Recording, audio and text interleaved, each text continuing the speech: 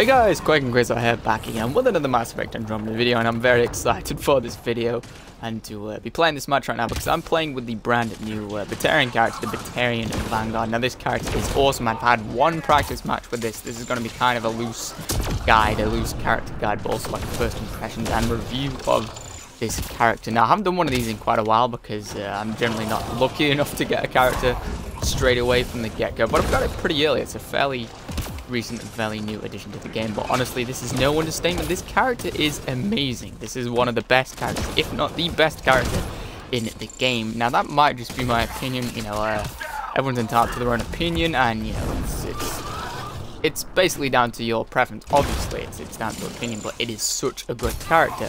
Now, the fact that it's uh, biotic, but also very uh, close range sort of oriented, I'll talk about, you know, that more in a second. It's so cool. It just, it just works so good.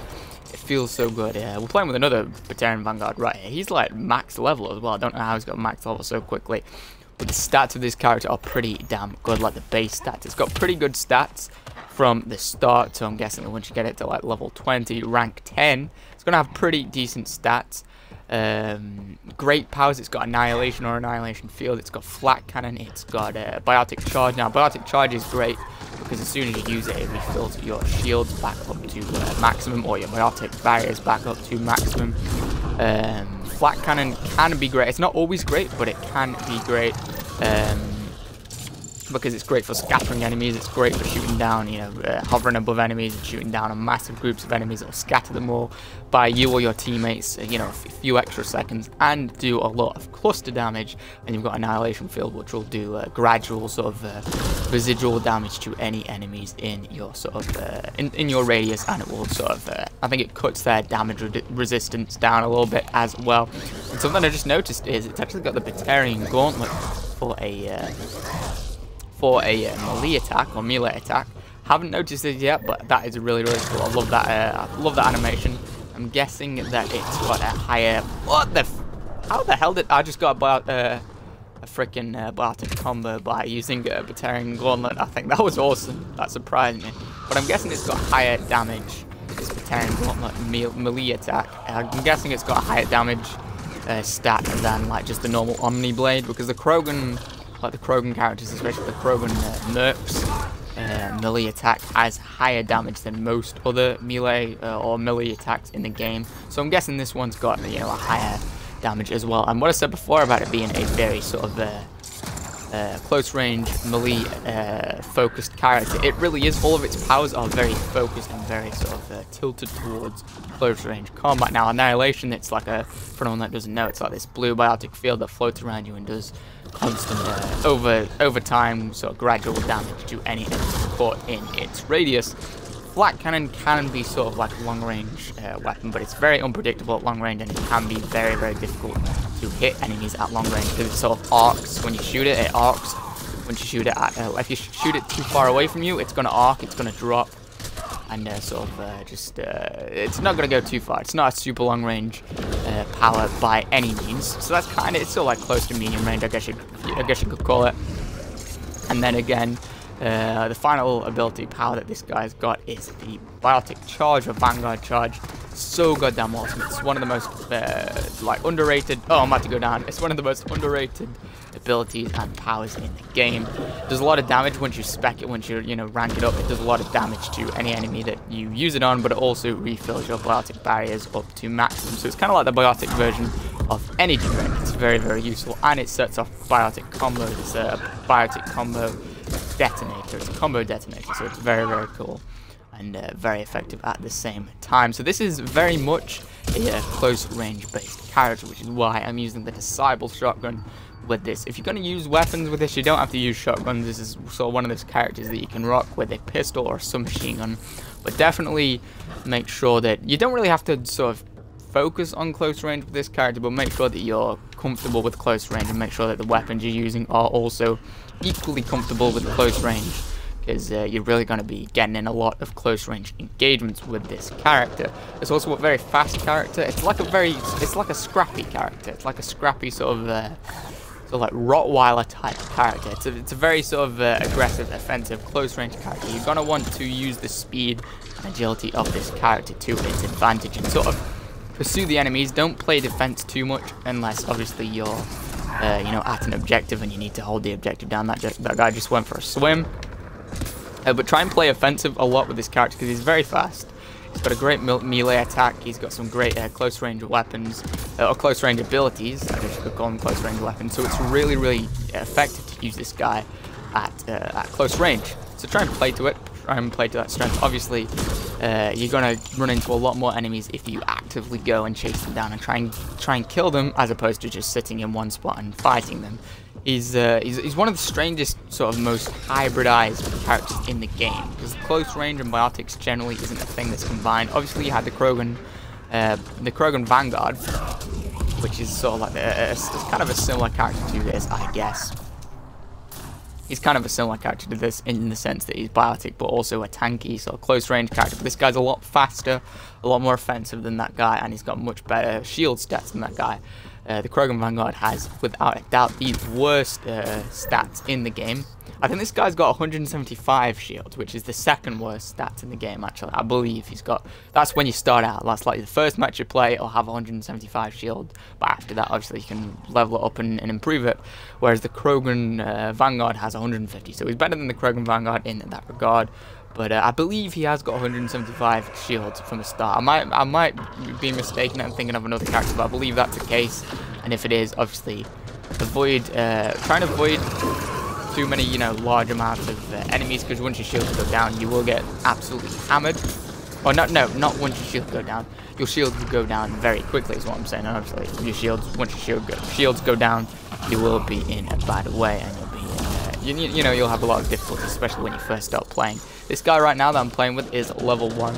This is like a full first on first impressions or like a guide from the get-go. It's not a platinum guide. Uh, you don't have to get him up to level 20 to play with the guide that I'm giving you now. Thought it'd be it's sort of useful for you guys because I usually do uh, platinum guides and sort of max level guides. I thought this would be useful since he's a fairly new character. Thought it'd be useful for all of you and helpful for all of you who might just, you know, only be unlocking this character possibly in the next few weeks or days after he has uh, been released. He's a very cool looking character as well. You can't really see it. I can't see the front of him, but he's got like this awesome freaking like scarf on. He's got pretty cool looking armor. I don't like the Batarian Scrapper, the other Batarian character, in terms of visuals. I don't. I just don't like the, the visual design of him, but I really like the visual design of this guy. I've been playing with the Krogan Merc. If you've seen my uh, more recent videos, I've been playing a lot with the Krogan Mercenary, and I can tell you uh, that guy's so slow. Obviously, the Krogan characters are very, very slow. This guy is the complete opposite. He's fast as hell.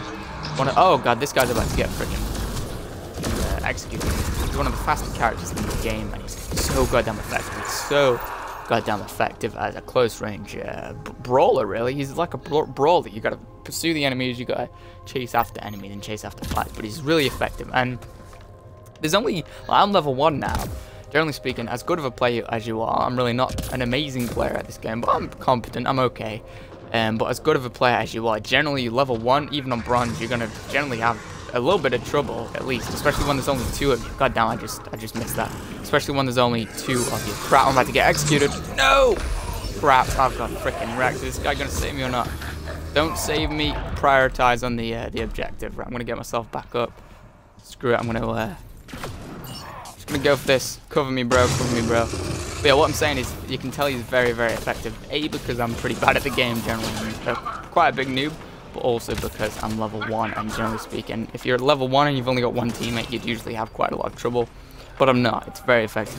a really good character. Crap, this guy's about. God, I hate this thing so much. I'm fully focused now because I want this to be an entertaining video. I want, I want this video to be a success instead of just me dying. I'm not doing anything for the team because I'm level 1, so I'm going to get this, uh, get this. Cover me, bro. Please, please, please. Please, no addies. Please, no addies, right. My shields go down to. In fact, I'm going to use this to get my shield back up, and I'm going to make a... Oh, I, that was a bad idea. I'm going to bring my shield back up with a uh, med kit.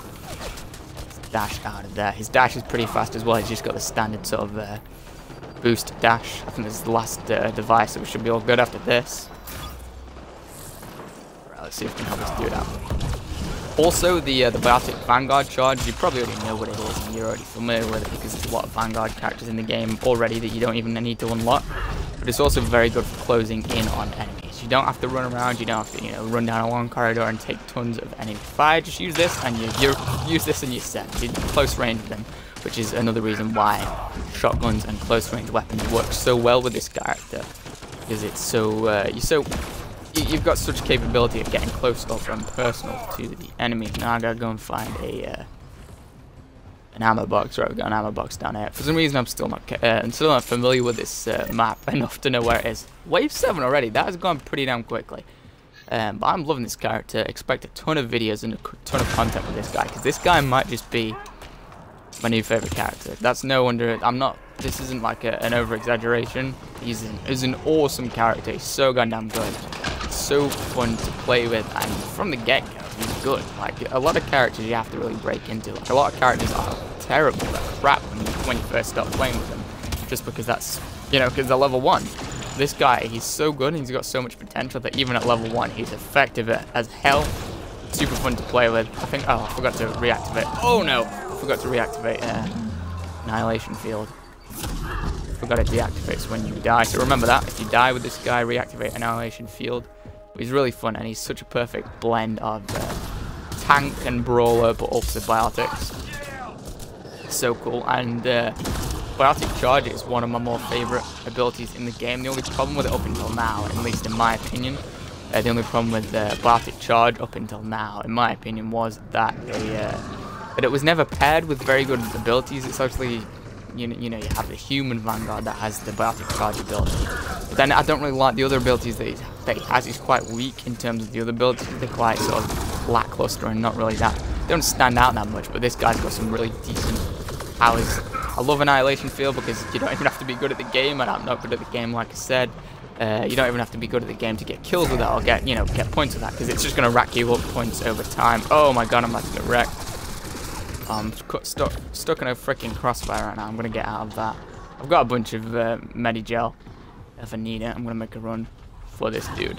But honestly, without sounding too arrogant, I think I probably could have done this without that guy there. It would have been hard, but I'm not saying I'm good at the game. I'm saying it's a very good character, a very decent character. And uh, try this dude out. He's an ultra rare character, so you're probably going to want to open uh, 100k packs. Please do not go down. You're probably going to want to open 100k packs ideally. You might be able to get him out of 50k packs, or, yeah, 50k packs. You've got a small chance of getting him out of 50k packs, but try, uh, obviously go for 100k packs if you've got the money, because you'll stand a better chance of getting him.